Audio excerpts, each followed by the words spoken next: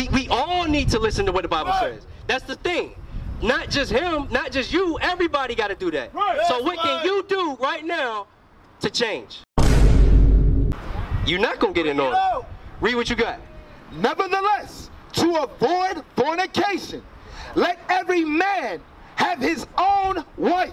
The Bible says to avoid. You know what fornication is, right? Having sex before you marry. Having sex with anybody that you ain't married to. Right. right? Man with man, that's fornication. Woman with woman, that's fornication, right? Brothers with sisters, you see that stuff going on. That's fornication. Women with animals, that's fornication. You see that too. Men with animals, that's fornication. All those things are fornication. To avoid to avoid those evil lusts, right? The Bible says to do what? I know it says better to marry than to burn. Right. The Bible says better to marry than to burn, but what does that look like? That's marriage. Marriage, right? Read it again. Nevertheless, to avoid fornication, let every man have his own wife. No, let every man have his own man.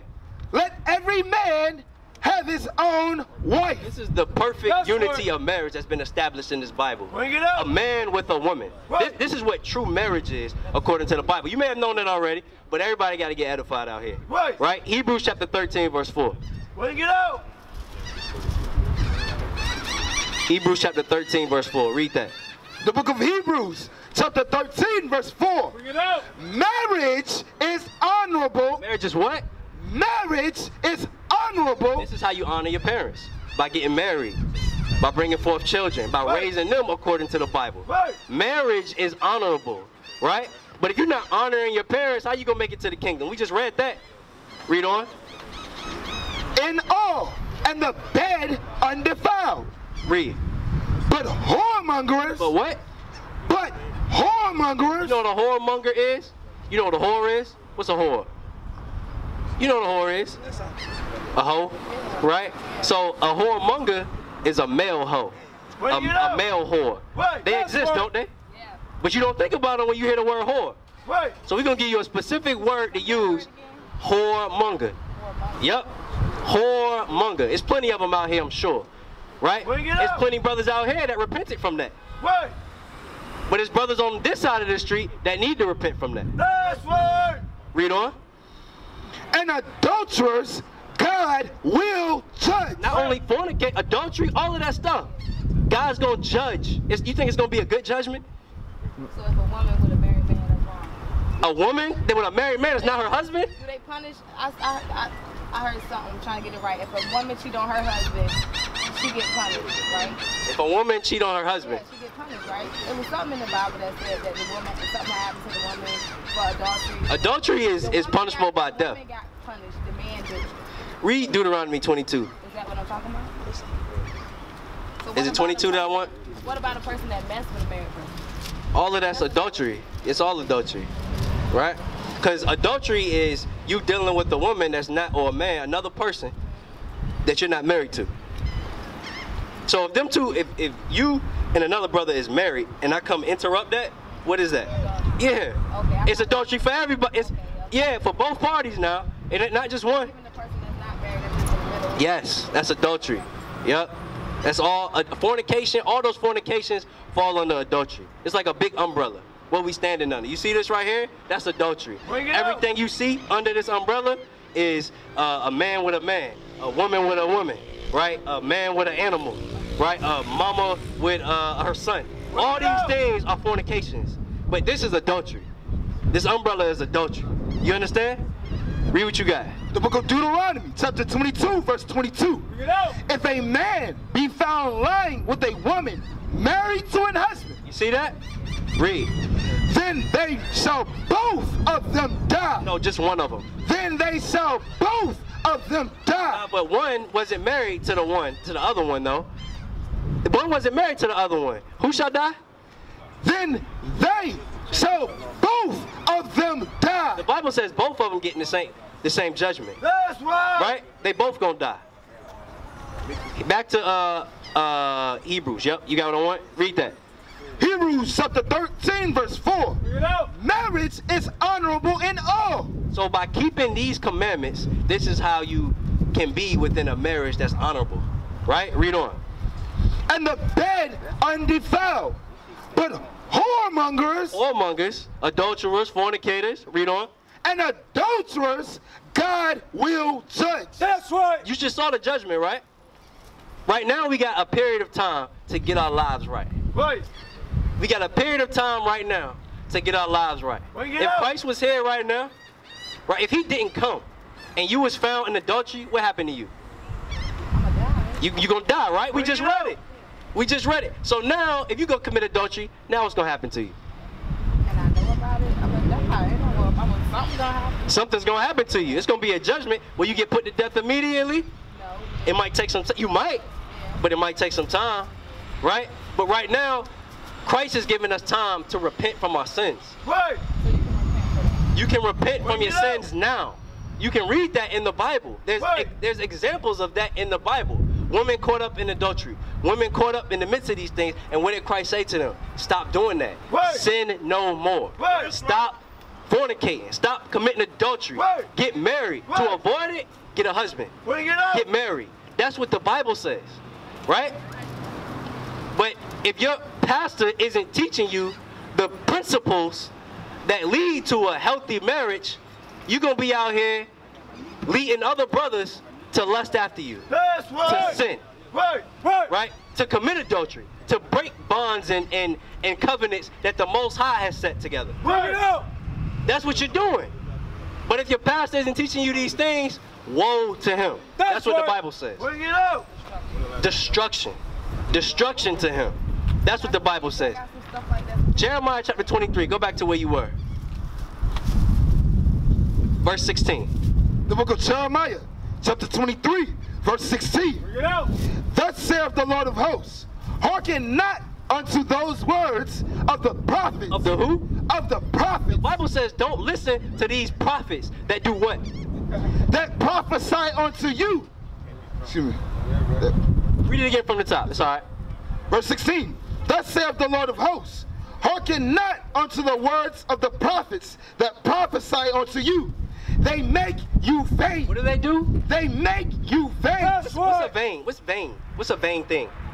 Say it again. They like angry, Vain. It may if something it, it, it makes you or like when they say you don't do something out of vain, like that. if you do something in vain, what'd you do it for? For nothing, Yeah. right? That's what they're making you. The, what, you're going to church right now for what? For nothing. Right. They're not teaching you nothing. Right. It's vain. Right. You going to sit in church every single Sunday and you ain't learning nothing. Bring it out. You're not learning nothing that you can apply. You got kids? That you can teach your kids. Right. You're not learning anything there. Where's your father's husband at? He around here? My It's- father, husband. Yeah. Oh, I'm sorry. Your father's uh your your children's uh uh father. Where is he around here? We talking about like in the life or in this area. Like in this area? Like you know what I'm saying? Like is he involved in your life? He in prison, right? You think he would be in prison if he was learning these laws? No, he wouldn't. Bring but guess what? He probably was at the Comforters Church. That's probably where he was Right. coming up as a child. That's A lot of the like the churches that lead the wrong way. Exactly. Your church and all the other churches that's leading the young men the wrong way. Right. Because they're not teaching the Bible. A lot of men that end up in prison come up in church. Right. But the church has done what to them? Has failed them. That's right. The church failed most of these men out here. Right. Bring it out. The fir- the church probably failed this brother standing across the street. Is the church doing something for you, brother? Ain't doing a damn thing, is it? Right. You don't go to church. What you do? I said, what do you do? What do you believe? I believe myself. You God. Okay. How? What makes you a God? You control everything. You control yourself and your actions. All right. If you stay there long enough, we go. You know, we go converse. We go converse. All right. Um, Sirach chapter 25, verse 21. Sirach chapter 25, verse 21. Sister, you gotta, you know, get yourself together. That's why we out here. Yeah, you. You. Right? You not offended, are you? Yes, how you know I need to get myself together? Because you you are growing up in a church that's not teaching you God's commandments. So you don't go to that church no more. Because I be seeing they tell us call somebody daddy, so I don't go to that church no more. But that's my family church, so I that's, that's, that's what my family does. That don't mean I gotta be like that. though. That the Bible says that you gotta choose who you gonna That's what I'm serve. saying. You gonna you gonna serve who your I grew up in that church, but I don't. I I don't go to church anymore. Okay. I don't go to church anymore. Read what you got. The book of Sirach, chapter 25 and verse 21. Stumble not at the beauty of a woman. You know what that means? That's right. Stumble not at the beauty of a woman. Stumble not at the beauty of a woman. Bring it out. Okay, what you supposed to stumble at? What are you supposed to stumble at? Nothing. You should Oh, I be. You should have your balance. I thought it was something else that he had to do with read. Just stumble not at the beauty of a woman. Stumble not at the beauty of a woman. Read on. And desire her not for pleasure. What's that mean? Oh yeah, don't look at her just like to lust. Don't lust at her. Like really like her for her. Don't like her for her. Don't look after her for lust. Right? For sex only. That's what that means. So don't look after a sister for sex only. Right? But if you're dressing in such a way where you're drawing attention for brothers to look at you Bring for it out. sex only, right? That's how they gonna do. That's how they gonna treat you. Right. That's what you gonna get. Right? That's right. Now, if your brother, no, if your sisters and your aunts and your mother, if all of them are dressing that way, if they're doing those things, are you gonna continue to do the same thing? But that's your mama and your sister and your auntie. No, they're not gonna be there when that man be talking to me. I mean, that's what you told me about this church. I said I go to that church. I grew up in that church. I ain't say I do the same thing they do. Okay, so you don't do the same things they do. I grew up in the church, but I, I choose to dress off my own way once I got of age to say no if I ain't want to go. Okay, all right, all praises. So you at an age where you can apply these commandments that we're teaching, Yeah. right? Leviticus chapter 19, verse 17. Because this is love that we showing you. We showing you and everybody out here that's gonna listen. Read. Bring it out. The book of Leviticus, chapter 19 and verse 17. Bring it out. Thou shalt not hate thy brother in thine heart. So how are you dressed like that, showing hatred to this brother that's across the street? Bring it out. Say it again. got on jeans. Because you got on jeans. Well, the scriptures do say that you shouldn't wear pants, but how else are you showing hatred to this brother across the street? You don't know? You sure? Oh man. Read, read where you were again. Go back. Hold. You got Sirach still? Yes, sir. Yeah, read that. The book of Sirach, chapter 25 and verse 21. Stumble not at the beauty of a woman. The Bible says. I'm dressed appropriate. That's The Bible says don't stop. You dressed appropriate, sister. Your pants are skin tight. Are they not? Bring You may as well out. not have pants on. What? Your pants are skin tight, sister. Any brother, any bro- I know. I can look at your your your legs and and see. I can see your legs through your. They like painted on, sis. Right. You telling me they modest clothes? That's hatred to all these brothers out here. Right. to what other people wear. Um, No, we're comparing it to what the Bible says, That's not to right. what other That's people wear. right. Th- This is the standard. This is the standard. You keep you. Well, I'm, I'm not even gonna say that. All praise to the Most High. You understand what I'm saying, right? All praises. Where were you at? Leviticus 19, 17. Read. The book of Leviticus, chapter 19 and verse 17. Thou shalt not hate thy brother in thine heart. So, with that being said, what's one way you showing hatred to your brothers right now? with my pants. With your pants. There it is. You see how simple this stuff is? But if we get back to God's commandments, this is how we can walk in the spirit of love. Right. This is how we can walk in, in the spirit of unity. This is how we can build a nation. But it's not until we can change these small things, right? To keep this brother, that brother, all these brothers out here, right? From looking at you and seeing exactly what's under your pants. I shouldn't be able to look at you and know what you look like naked, right? Right. I, I shouldn't be able to do that. No brother out here should be able to do that. Right. Nobody. Nobody Right. right? You heard what we read about adulterers. You heard what we read about murderers, right? Right. Um, from the, were you, were you finished with Leviticus? Read it again from the top. The, the book of Leviticus, chapter 19, verse 17. Thou shalt not hate thy brother in thine heart. Thou shalt in any wise rebuke thy neighbor, That's and right. not suffer sin upon him. Right. You suffer sin upon your brother, right? You cause him to sin. Maybe not with you. Maybe not with you, because he might see you and say, ah, sis, you know, them jeans look good, right? But now he's thinking about you all day. So I did. The girl. You planted a seed in his mind. No, know, he need to. Uh, he need to listen to what y'all saying. We, we all need to listen to what the Bible Right. says. That's the thing. Not just him, not just you, everybody got to do that. Right. So That's what can you do right now to change? I'm gonna tell you right now, I can't put on a dress, but I try. I take the hair out or something. Right. So you got to change, sister. If you don't, you're not going to get the kingdom. Right. I can't, act like y'all said, you can't just go home just because y'all talk to me and I be like, oh, I know all about. It's a process. Yeah. We planting seed. You get you got a lot of evil seeds. That's, hold on, you got a lot of evil seeds. Everywhere you walk around here is gonna be planted in your mind.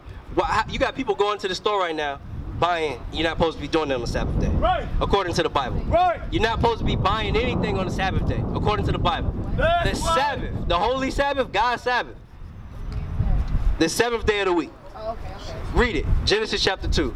You're not supposed to be doing those things today. But guess what? So many bad seeds have been planted in your mind that it's normal for you now. Right. It's just perfectly normal. You're desensitized to it. So me telling you that you got to take them pants off says you got to put a dress on. You got to take the, the, the, the hair out your head because that's envying your oppressors. You learned that from the white woman. Me telling you these things, I'm planting good seeds in your mind. Right. I'm gonna continue to do it as long as you stay here. Bring because when you leave, it's gonna be all evil around you. And you're not gonna have no safety, no comfort nowhere. Right. Right? Read what you got. The book of Genesis, chapter 2 and verse 1. Thus the heavens and the earth were finished, and all the host of them. And on the seventh day, God ended his work which he had made, and he rested. He rested. God rested on the seventh day. The seventh day of the week. Right? You know that's Saturday, right? You already know that. Right. All praises. Saturday is supposed to be like a day. Saturday is a day where you're supposed to, Hebrews chapter 10, you're supposed to come together. Oh, so that's why y'all here on the Saturday. That's why we here. We're supposed to be teaching God's word. We following Christ's example. That's what we're doing today. It's the Sabbath day. That's right. I want Hebrews 10:25 and then I want Luke 4. I see her. Shalom, sis. How you How you doing? Good. Good, good, good. Read what you got. The book of Hebrews, chapter 10 and verse 25. Not forsaking the assembling of ourselves together. This is what we're supposed to be doing on the Sabbath day. Coming together. Why? Because we've been apart. Most of us working all week. So God gives us 52 holidays called a Sabbath throughout a year. 52 of them. And you don't work on this day. You don't even cook on this day. Right? You don't do no servile work. No cleaning. Do that stuff before the seventh day because the seventh day is a special day to God. That's right. Right? So come together with other special people and all y'all keep God's special commandments together. Right. This is what's gonna make you a special people, That's according right. to the Bible. That's your heritage. This is what you've forsaken, you've given up. And you said, all right, instead of doing these special things, I'm gonna do these things that the white man gave me. Right. Okay. Right? You know Christ is a black man? You've been known that. Everybody know that. Everybody know that. Everybody don't know that, but I I I seen that before when they when they describe how he looked. That's black all the way. I mean, Okay. Everybody know that. No, I said I don't know about everybody. I know about myself. But you know that, okay. All praise. But you didn't know that there was doctrines associated with the false image of Christ, like your hair, like your pants, like Christmas, like Easter, like Thanksgiving. Christmas and Easter Thanksgiving. All those associated with which picture? Yeah. This that white man right there. Right. The beast. The beast, exactly. That's All those right. associated with him. That's right. You know, go to Revelation chapter 14. Bring it Out. Hmm. Bring it out. I don't think you understand how serious this is. Before you read that, get Zephaniah chapter 1, verse 8. Because there's judgments to come for your actions, sister. That's right. Jamara, Jamara. It's judgments to come for your actions, right? Get your spirit right. That's when I say, you remember when I said you gotta get yourself together, sis, right? This is what I meant, right? This is me expounding on that point. So you still, you're not offended, are you? You still offended? Yes. Well, the word of God, hey, it's gonna But you're offend. trying to help. You're trying to help. So. Read what you got. The book of Zephaniah, chapter 1 and verse 8. Bring it out. And it shall come to pass in the day of the Lord's sacrifice. Right, this is when Christ comes back. So when Christ comes back, right? You got the setting. Christ is on the scene right now. This is where we are in this movie. You understand what I'm saying? Read on. That I will punish the princes and the king's children. And who? And the king's children. Read. And all such as clothed with strange apparel. Yes, sir. So, what's gonna happen to those brothers and sisters that's destroyed or that's wearing uh, the strange apparel? They gonna get destroyed. You think a man in a dress is strange to God? Yeah. You think a woman in pants is strange to God? I guess not. I guess now. Now you you didn't know before, but now you know, I mean, right? At, the church, they don't know the pants. I never tried. So yeah. We got to get you to say. If you don't know why you're doing something, eventually you're gonna stop doing it. Yeah, you're right. But that's why you stop doing it. So what we're doing right now is giving you the understanding. We giving you the sense. Right. Right? Because right, turn around. Look at this sister right here. Right? Sister, come over here and talk to us. Come over here and talk to us. All right, she gotta go. She got something to do. Right? But you see how you see the attire that our sisters wear? You see that? A dress. This is uh, you just this is a random person out here. This is what's acceptable right now in this society. But God says if you dress like this, what's gonna happen to you? No, no, 'cause now I'm confused. 'cause She got on the dress and not. She has on a dress. Is it modest? No. Not at all. But the Bible says what type of dress you gotta wear? A modest one. Right. Right? So that's strange apparel. The whole point of wearing a dress is not to just have a dress on. The point of wearing a dress is to cover yourself up. Right. It's so that when I look at you, I can't see all your curves. Right. That's the point of wearing a modest dress. Bring There's no pants that can do that. Unless you put on men's pants, because they were created for men. Ain't no such thing as women's pants. You gonna have men's pants on, or you gonna have some women's women's pants on that's fit for your curves. So it defeats the purpose. You understand? The Bible says you dress like that, you can get put to death That's when he comes back. Right? And all of those things are associated with which which picture you see right there. Revelation. Say it again. Which cause which one is the beast? White man And all of those things, a woman wearing immodest clothes, he did all of that. Right. He did all of those things. He's the cause of the destruction of your people right now. Bring it out. Right? Read what you got. Verse 12. No, verse 8. Bring it out. The book of Revelation, chapter 14, and verse 8. Bring it out. No, verse 9. Verse 9. And the third angel followed them. This is the destruction that's to come. All right? We, we, we moving forward to the future. Right? So when Christ comes back, this is what you have to hope for. Pay attention. Listen. Read. saying with a loud voice, If any man worship the beast, Do what? if any man worship the beast, How do we worship this beast right here? Bring it out. No, you you know the you know these you know these things, sister. You got some wisdom. This is exactly how we worship that beast. Read it again. and the third angel followed them, saying with a loud voice, If any man worship the beast and his image, and receive his mark in his forehead, Right, that cross that that brother got on. Guess what? That's a symbol of the beast. That's what that's a symbol of. It's a symbol of Christianity. That's what destroyed all of these people you see out here. Most of them. The, the religion of Christianity. Because who's the face of Christianity? Come here. Okay, and in that religion of Christianity, do you keep the Passover? Do you keep tabernacles? Do you keep the Passover? It's a holiday in the Bible. Bring it out. Do you keep tabernacles? A holiday in the Bible, right?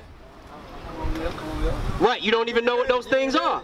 They're not associated with that image, right? But guess what is? When you see that cross, right, that he has on his neck, what do you think of? You think you think of that man right there?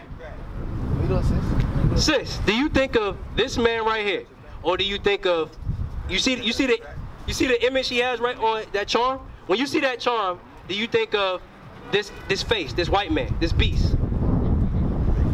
Bring it out. You think of a black man, period. Okay. So when you see that cross, But that is Christianity. It's Christianity. it comes from that. it comes from that, right? So all those associating themselves with these things, right? Read it again, verse 8. verse 8.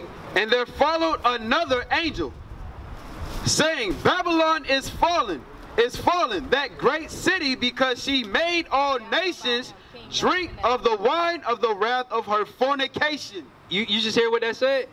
Babylon got destroyed. Good because girl. they Made them drink Little girl. from Come here. the waters of her. Babylon is destroyed, right? That's going to be this nation. It's going to be destroyed, right? Because of why, though? Read that. Why? Verse, verse 9. Uh huh. Verse 9. And the and the third angel followed them, saying with a loud voice, If any man worship the beast, Worship that white man. If you worship that cross, if you worship the religion of Christianity, read on. In his image, And his image, right? Or his idols, right? Read on. and receive his mark in his forehead, That's your mind, right? Because right now your mind has been marked with Christianity, right? Read on. or in his hand, Or in his hand, the works that you do, right? The works that you do, are they for this white man, right? When you celebrate Easter, is it for that white man? We're gonna talk about our mom. Yeah, it is. When you celebrate Christmas, it's for that white man, right? Then we go. Right? Yeah, right? When you celebrate Mother's Day and Father's Day, it's for that white man, right? When you celebrate 4th of July, who is that for? No question, right? Right. So are you worshiping the image of this beast? Bring it out. Are you uh, you don't want to? I understand that. Ne- neither did we. What? Neither did we. What? Christmas away from the kids, you know. All that's associated with the image of the beast. Bring it out. All that's associated with the image that you see on this sun. Right. The beast. What? The beast. Right? Read. the same shall drink of the wine of the wrath of God. What, what shall happen to them? Bring it out. The same shall drink of the wine of the wrath of God. That's If, right. if you're not keeping God's commandments, right, and you're calling Jesus your Lord, you're not worshiping the true the true God Right. That's right. because you're not keeping His commandments. Right. You're worshiping this white man, Right. Caesar Borgia. That's Bring right. That's who you worshiping. You're not worshiping the Most High God and His Son Jesus the Christ. it out. Right? You're worshiping the image of the beast that's been set up to deceive you. Christ said these things will happen. Read. which is poured out without mixture into the cup of his indignation. Read. And he shall be tormented with fire. This is what's going to happen to those that worship the image of this beast. Right? This is what's going to happen to those that, that still believe you can get God's kingdom and not keep any of his commandments. Bring it out. That you can worship all of these idols. Right. That you can wear pants. Right. Right? That a man can put on a dress. Bring it out. That a man can can can be a homosexual. All these things associated with the image of the beast. Right. Right? Easter, image of the beast. Right. Your birthday, image of the beast. Right. Yes, you don't find that in the Bible. Bring it You don't find that in the Bible. Every birthday in the Bible that you read is associated with the death of one of God's chosen. Right. Every single one. Bring it out. It's a custom of the other nations, just like the 4th of July. Right. You shouldn't be celebrating that. Right. Read. tormented with fire and brimstone in the presence of the holy angels and in the presence of the Lamb. So it's going to be death and destruction to them. That's right. Death and destruction to them. Do you understand that? Shalom. This is Bishop Nathaniel of Israel United in Christ. Please subscribe to our YouTube channels. Stay up to date with our latest events, music, and classroom lessons.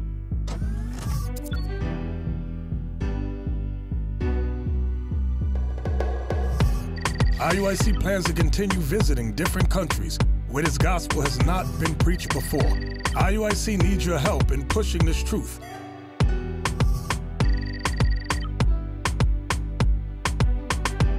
So join us. Subscribe to our Instagram, Facebook, Twitter, and podcast, and stay up to date with us.